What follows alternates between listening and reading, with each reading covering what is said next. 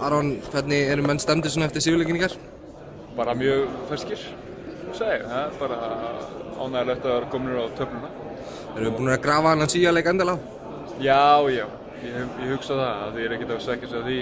Það var fyrsti leikur og kannski skrekkunum fór svona mest úr þá.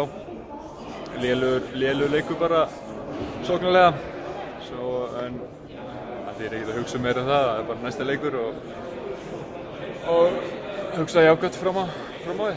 Þú náttúrulega spilar í Svíþjóð, ertu búin að fá einhverja pillur frá, frá Svíum eftir þennan leik? Nei, ekki ennþá, en ég hugsa að ég fái nú eitthvað þegar, þegar ég kem heim. Það var, það er reyndar svona, við erum með svona SMS-grúpu í liðinu og það var eitthvað að vera aðeins að skjóta en ekkert, ekkert alvarlegt. Ég hugsa að ég hafa verið meira þegar ég kom tilbaka. Þú náttúrulega fjagst þína fyrstu mínútur á mótunni í gæra, tókst viti, koma vel inn í þetta, varst ekki bara ánæður? Jú, mjög ánæður. Það var ánægilegt að fá aðeins svona 12, hvað, 12 mínútur, 12-13 mínútur svona í þessum leik og líka það var ennþá, ennþá leikur sko, þannig að það var bara mjög, mjög fínt og, og líka koma bara almennilega inn í þetta og verja hann nokkuð skott. Það er oft talað um það eitthvað að markmenni þurfa að standa sig og, og íslenski markmenn hafa nú oft verið fyrir svolítið mikilvæg gaggrinni en getur við ekki verið sammála um að, að þetta er kannski einn af þeim þáttum í leiklýsis allan á þessu móti sem er búin að vera í, svona, í lægi heilt yfir?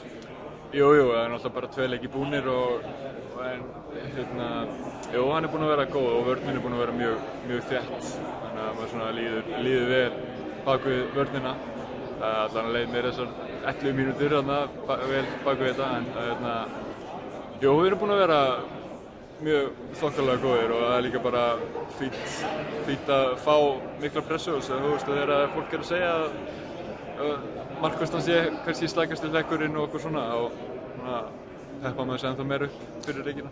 Þannig að þetta, þetta kannski frekar peppa manni mitt upp frekar en að vera að brjóta, brjóta mig niður? Já, já, algjörlega, það er ekki, það er svo mikið að, mikið að gaurum að núti sem eru að segja hitt og þetta og það er ekki að taka neitt, inn á sig. Uh, hvernig, hvernig myndur þú möguleika íslenska leysins gegn frökkum á morgun?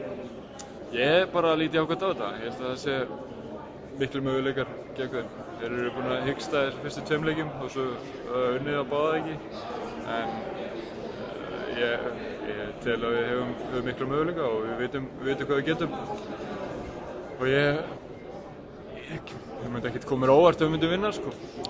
Rétt í, í lokin svona hótelið og aðstæðan hérna í, í Katar hvernig finnst þér þetta að vera svona samanbúru við önnu stórmót sem þú hefur verið á?